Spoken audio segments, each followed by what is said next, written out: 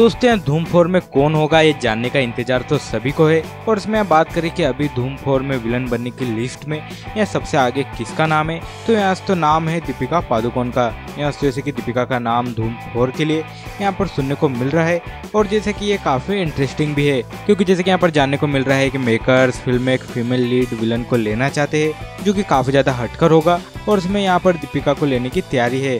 हालाँकि जैसे कि यहाँ अभी पक्का पक्का नहीं हुआ है, क्योंकि यहाँ दीपिका के पास अभी काफ़ी सारी फ़िल्में हैं और वो भी काफ़ी बड़ी फ़िल्में और इसमें यहाँ मेकर्स फ़िल्म की शूटिंग यहाँ 2021 में स्टार्ट करना चाहते हैं तो इसमें यदि यहाँ सब कुछ ठीक रहता है तो इस फ़िल्म में हमें दीपिका दिखेगी। लेकिन जैसे कि यहाँ धूम फोर जैसी बड़ी फ़िल्म में यहाँ पर दीपिका दिख जाती है तो ये काफ़ी ज़्यादा कमाल का तो रहेगा ही। और इसमें यहाँ ये तो सोच कर ही काफ़ी मज़ेदार लगता है। कि दीपिका धूम फोर में, और वो भी एक विलन के किरदार में। लेकिन जैसे कि इससे पहले इस फ़िल्म के लिए शाहरुख, अक्षय, रणवीर सिंह का नाम सुनने को मिल चुका है। लेकिन जैसे कि अब क्योंकि यहाँ काफ़ी जल्दी धूम फोर स्टार्ट होने वाली है तो फ़िल्म के अनाउंसमेंट भी काफ़ी जल्दी सुनने को मिलेगी।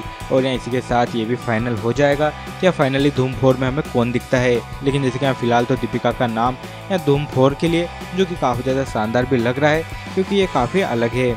ऐसे मस्त तो क्या आप भी धूम फोर में यहाँ पर दीपिका को देखना चाहेंगे लीड विलन के किरदार में। साथ ही और बॉलीवुड से जुड़ी लेटेस्ट अपडेट के लिए चैनल को सब्सक्राइब करें, लाइक, शेयर, कमेंट ज़रूर करें।